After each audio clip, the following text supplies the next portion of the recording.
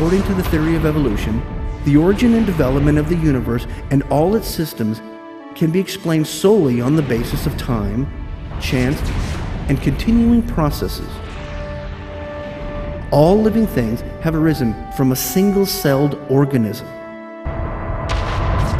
A second and opposing worldview is the concept of creation.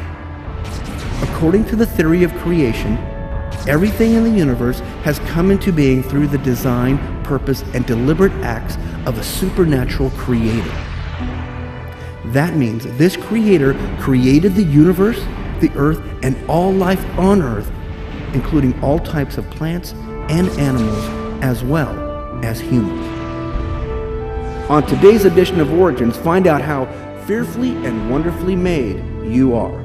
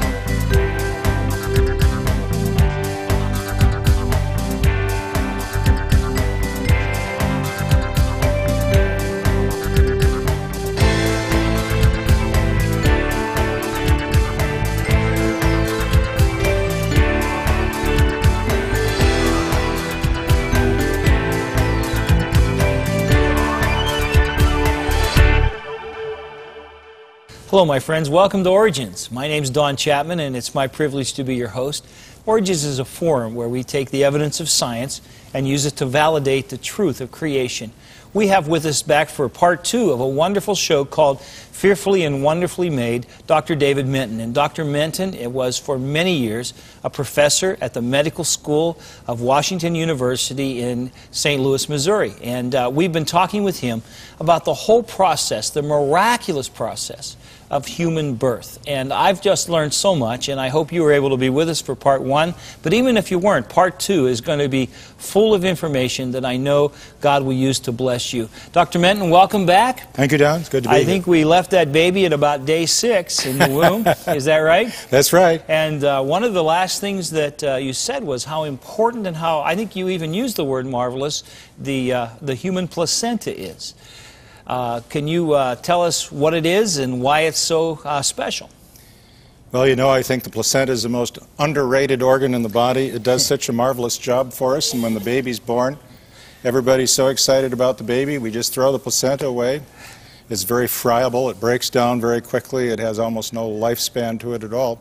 And yet, that amazing organ has supported that baby in a way that few people uh, recognize. You know, it's, it's one of the most, if not the most important organ in our body. We wouldn't be here without it. And yet, none of us had our own placenta in our own body. No, that's right. Uh, the placenta, when you think about it, is rather like this plug here. okay.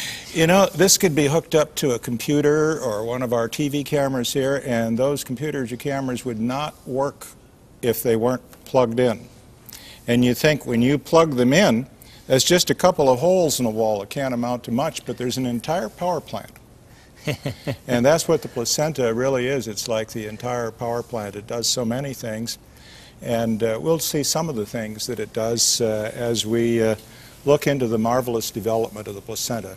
Let me head up to our Please board do. here. I'm and, uh, anxious to see what you have for us today. Well, in diagrammatic form here, we have a structure called the blastocyst. The blastocyst is a, uh, a structure that actually implants into the wall of the uterus. Uh, it does so at about five, six days uh, after ovulation, and the baby just kind of waits for a while. Right in here, this part will be developing into the baby. Okay. But it has to wait until the plug-in and the power plant get set up. Uh, this is the wall of the uterus that you see over here on the right. And it has uh, developed uh, glands that make a sort of a fertile soil, if you will, into which this uh, seed will implant. And there are many, many blood vessels in here. We see one right here. And these are blood vessels that are in the wall of the mother's uterus. Right away, we have a miracle on our hands. This tissue we're looking at here in green and what have you is a completely different individual, genetically distinct from the mother. Right. Uh, the mother's over here. This is the uterus. You've heard people say that the developing baby is part of the mother's body. Well, this just simply is not true, except in a trivial sense. Uh, this tissue, were you to inject it in the skin of the mother, would build an inflammatory response. In other words, the body would recognize it as foreign tissue and reject it. But one of the first miracles we encounter is as this uh, blastocyst penetrates through the uterine wall, it is not rejected. In fact, it shouldn't even be able to burrow through the wall. Our body doesn't normally allow foreign tissue to just burrow right in. Right. Uh, but it does. And the cells that do the burrowing here are really pretty remarkable. These cells are called cytotrophoblast, and they fuse together to form what we call a giant cell. So if two cells fuse, you now have a little bigger cell with two nuclei. If another one fuses, you have three nuclei, another one four, and so on until you get a really big cell. And this cell is called a syncytial cell, and the name changes from cytotrophoblast to syncytial trophoblast. And it is these syncytial trophoblast cells that will uh, establish a relationship with the mother's blood supply so that the nutrients and gases in the mother's blood supply can be made available to the baby. By the way, it's also these cells of the syncytial trophoblast here that secrete a particular protein that circulates in the blood called human chorionic gonadotropin, and this is what these tests for whether the mother is pregnant or not are looking for. Okay. HCG. And that means that six, seven days, right around in there, is about as early as you'd be able to pick up that the uh, mother is in fact pregnant. Well, let's follow this sequence as uh, this marvelous structure penetrates in. Here it's penetrated a little further. Uh, note that uh, many cells have fused out in this area here. We're getting really close to the blood vessel. Uh, baby is pretty much still just biding its time over here. And notice it's penetrated quite deeply into the uterus. Eventually, it'll go right below the whole surface uh, as it penetrates deeper. There it is, dropped below the surface of the uterus. You couldn't even see it from the inside of the uterus now. Uh, it's below. It's actually and burrowed its way in until it's totally buried in the uterus. Absolutely. And now notice here's a blood vessel of the mother getting very close to the syncytial trophoblast mass here. A new feature that appears at this time is there are sort of empty chambers here inside this syncytial trophoblast. And uh, these will become larger and eventually will be invaded with mother's blood. Let's uh, take this the next step. Now we see that the syncytial trophoblast has done something really extraordinary and risky. It has literally eroded the ends of the arteries in the uterus of the mother. Eventually, 20 rather large arteries, nearly the size of lead pencils, will be having their ends literally truncated, and the blood of these arteries will shoot up into these spaces that you see here in the syncytial trophoblast. Now, you need to do this without leakage, naturally. Not only that, but this blood ought to clot. Right. Because it's, it's encountering something that's not a blood vessel. It's encountering foreign tissue. We should have one massive clot, it'd be the end of life right there. It doesn't clot. The clotting mechanism is actually suppressed in the placenta. It's amazing. So mother's blood doesn't clot there. Uh, notice baby is pretty much still biding its time here. Only when we have a good hookup and we get bathing of mother's blood, uh, can we really get seriously involved uh, with the development of the baby? Well, we've jumped ahead here now to a 14 day embryo. This is still very early. Uh, we've reduced the magnification. Uh, the baby is beginning to develop uh, here.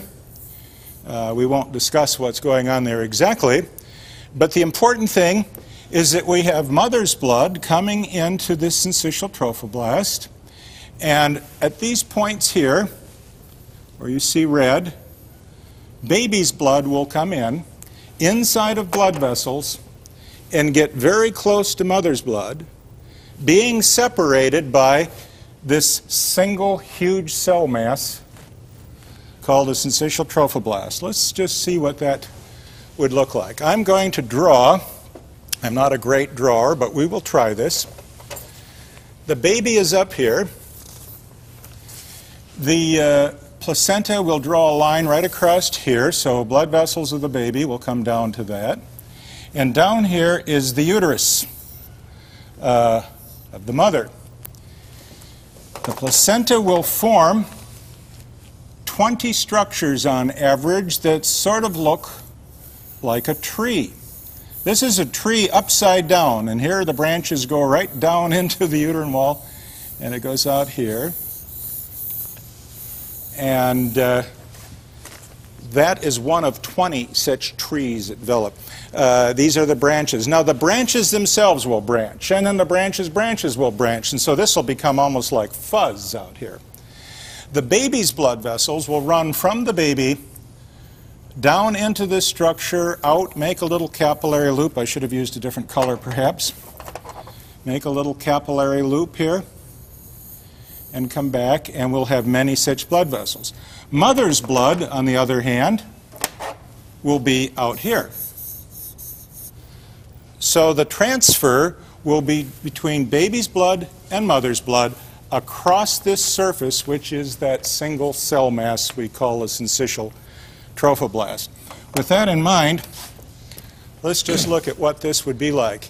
At, at 40 days, the placenta goes all the way around the baby. The baby is quite well developed at this point. We can see it in here. The amniotic fluid is out in here. And these little trees that, was, that we discussed before uh, are various masses like this and there. this. Okay. And we're just seeing all the branches. Like Yes. looking at a tree or a bush with just many, many branches. Baby's blood would be running inside of all these little fuzzy branches. Mother's blood would be bathing It's all the black. All this black area is mother's blood out here. So it can kind of filter down here among all the branches, right? All the way around. Now this is what we're going to do. We'll magnify that. This is one of the tiniest branches of the tree. Okay. All right. You get down these little finger-like processes. You need a microscope. In fact, this is an electron microscope to see this. And we notice that even the tiniest branches have little Fuzz on. bumps on them too. we Yeah. call those microvilli. The surface area is immense. In fact, if we were to unfold every little thing, all the branches, make it all flat, we'd probably be maybe half the size of a tennis court. Wow.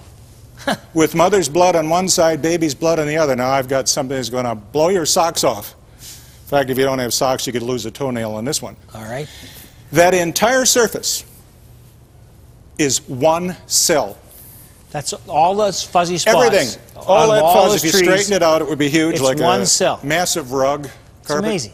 Is one cell. Now, millions and millions of nuclei in there, Okay. but one seamless cell.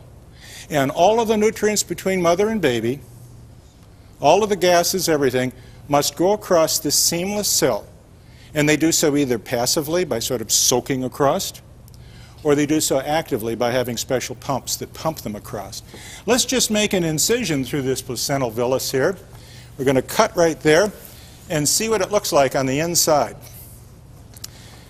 Out here is mother's blood. See, these are red blood cells out here. They belong to mom. All of these out here are mother's blood. But you see the red blood cells in here? yes, sir. They're babies' blood. Yeah. And that's how close they get. Notice uh, mother's blood here, baby's blood here, and in between the two is this little barrier here, and that's the seamless syncytial trophoblast that lines the entire surface of the placenta. Now, water can go across this passively. Sadly, alcohol can go across this passively. That's why women who drink alcohol Right. in large quantities when they're pregnant can actually have a baby born with fetal alcohol syndrome Right. because that alcohol goes right through into the baby just like the baby we're drinking it. Also, recreational drugs. Many of them can pass right across this barrier passively.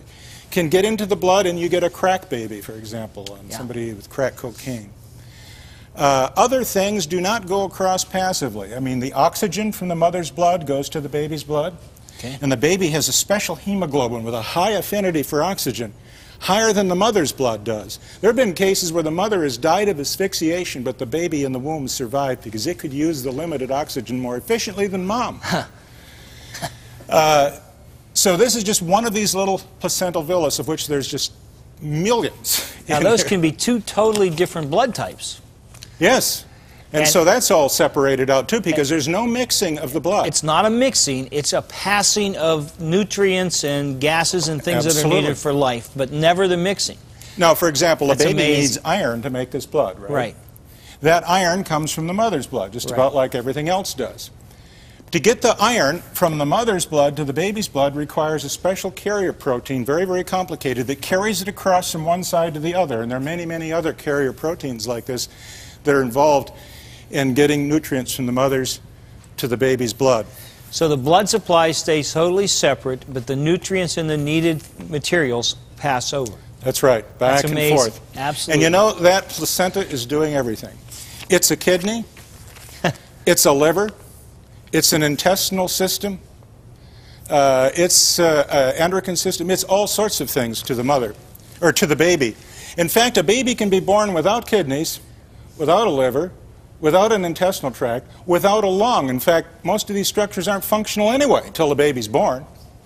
The placenta does it all. So that, that one organ, the placenta, basically does everything that our, our, all of our organs do collectively once we're born. All the ones I mentioned, right? No wonder you're excited about the placenta. It's, it's super organ. Now, I haven't told you the most incredible thing yet. This is almost beyond belief. When the baby's born, shortly thereafter, the placenta is ejected. And when the placenta is ejected, 20 major arteries going into this placenta are severed. Do you see a problem here? yeah, the mother could bleed to death. Yeah, let's add to that problem. Remember what I said? The blood clotting mechanism is suppressed Right. in the mother's uterus at this time. So we have basically 20 severed arteries in a hemophiliac. This pretty much ought to be the end of life right here. For the mother. Yeah. Yes. And of course, no more babies after this because you couldn't have babies if you That's didn't have a solution. The solution obviously isn't clotting, it wouldn't work fast enough anyway.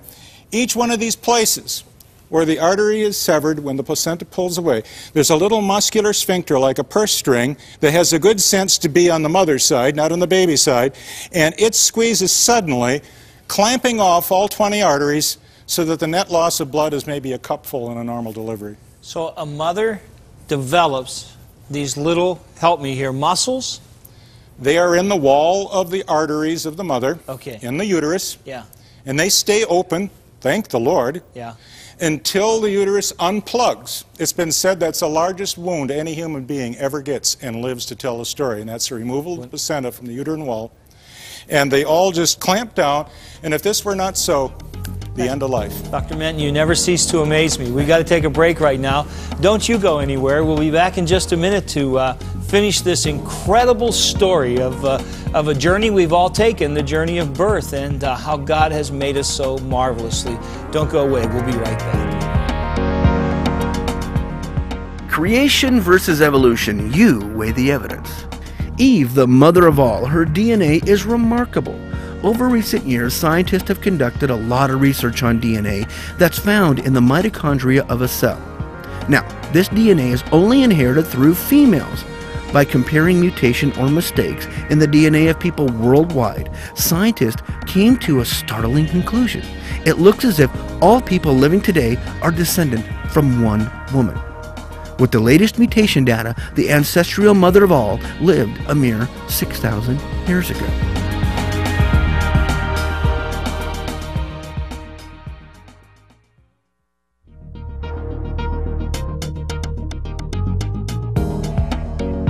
Today's guest on Origins, anatomist Dr. David Menton, is a speaker for Answers in Genesis. Audiences enjoy his well illustrated presentations on a variety of fascinating topics. Many of these lectures are available on DVD. If you're interested in the subject of creation, you'll definitely want these for your own. Orders are being taken at 800 778 3390. You can also write to Answers in Genesis, P.O. Box 510, Hebron, Kentucky 41048. or visit the website at www.answersingenesis.org.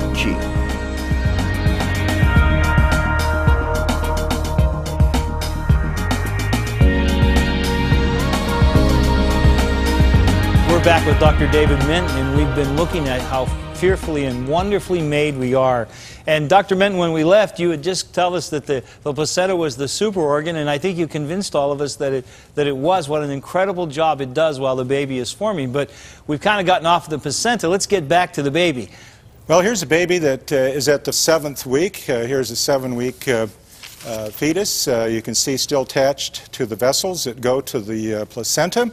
Look we can see the little fingers, fingers and yeah. toes and the Love eyes it. and the ear. Love it. And this is only the seventh week. Right. Uh, well, I'm going to jump all the way to the end here. Here's a baby in position for childbirth at full term, nine months, uh, head down, ready to go. You can see the uh, cord uh, going to the placenta there. And Don, we run into another problem right here, and we're going to need another miracle. Have you heard about the fellow that built the boat in his basement and never checked the doorway? Yeah. Spent all that time and couldn't get the boat out. Well, this is the problem we have here. You see, there isn't any way on earth you're getting this baby we out got of there. more baby than we got hold to get him out, don't And we? it's not just because you can't stretch the tissues enough, the bones are too small. Wow. Uh, let me show you what the problem is here. This is the pelvic bones, the hip bones, go right across here. And uh, the baby's head has to go right through here. Wow. And the simple fact is, the baby's head is not going to fit through there. That's it. That's pretty much the end of the story. Be the end of the human race. You'll never get a second chance to get this right if you're thinking about evolution. What happens is so extraordinary.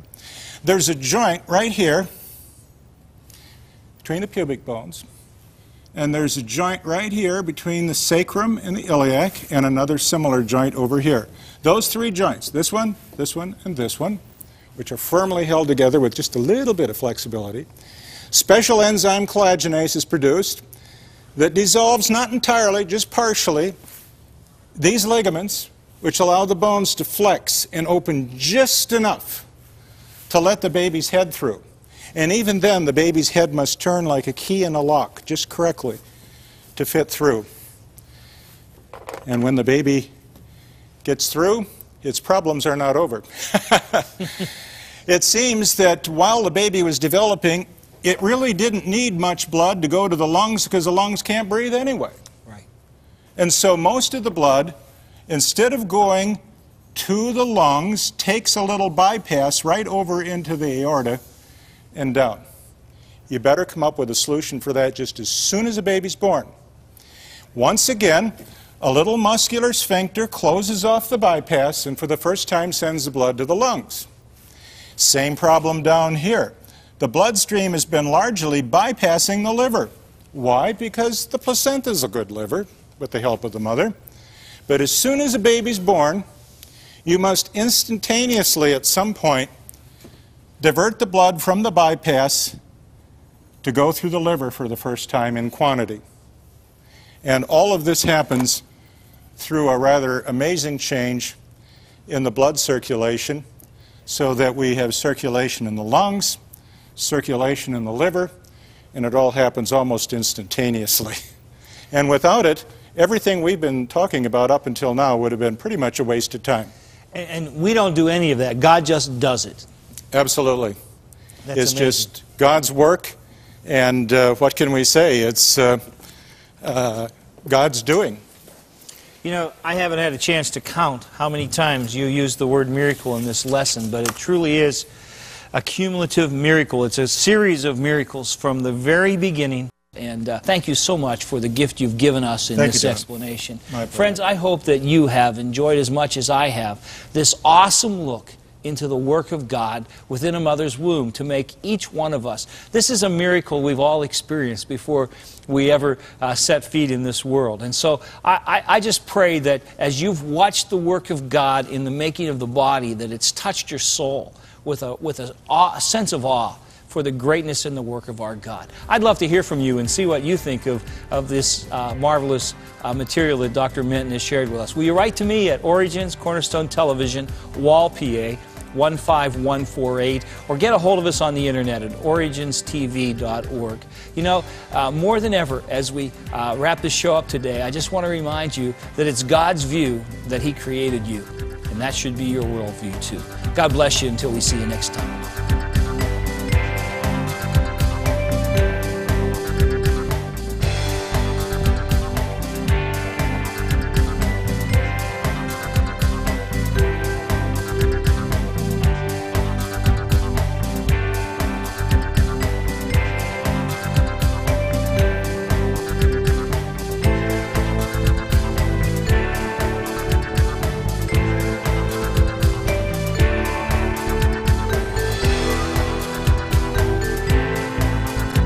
You for watching this edition of Origins. If you'd like a copy of the PowerPoint information presented today, you can download a PDF file of program number 512 from our website at www.originstv.org. Or for a DVD of this series, send a $12 donation to cover shipping and handling and write to Origins program number 512, Cornerstone Television, Wall, Pennsylvania 15148.